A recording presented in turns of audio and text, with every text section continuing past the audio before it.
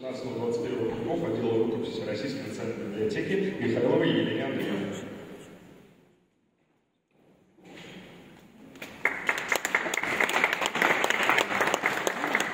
Дорогие друзья, уважаемые коллеги, а, мы сегодня открываем выставку, посвященную а, ярчайшей личности. Наверное, будет а, преувеличением сказать феноменальной личности в истории мировой культуры начала 20-го Мы открываем выставку, посвященную человеку, который включил русское искусство в мировое художественное пространство, который сделал русскую культуру частью мировой культуры. Это оказалось возможным для Сергея Павловича Зягина.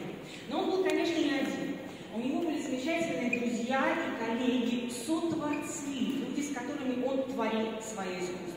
Конечно, это художники, э, это композиторы, это музыкальные и театральные критики, э, хореографы, наконец, это исполнители, танцовщики и э, оперные певцы. Но всех этих людей объединяла личность Сергея Павловича Дягина. И вот с помощью той информации, которая до нас дошла в многочисленных книгах, а с помощью сведений, которые хранятся в документах, мы вновь и вновь обращаемся к произведениям, которые получили новую жизнь с помощью редакции Дягилева. Произведениям, которые появились на свет благодаря э,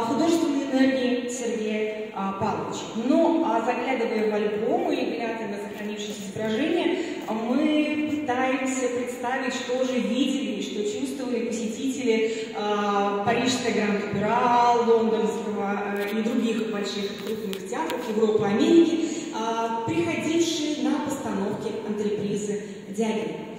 Но чем больше мы знаем о Дягилеве, о русских сезонах, тем мы понимаем, насколько актуально все то, что делал Дягилев, насколько важно и сегодня следовать тем идеям, которые проповедовал великий импрессарио. И мы надеемся, что наша выставка привлечет внимание не только а, всех интересующихся личностей Дягилева, его окружения, истории сезонов, но и профессионалов. И, возможно, представленная экспозиция кого-то вдохновит на новые творческие свершения, на появление новых шедевров. Спасибо.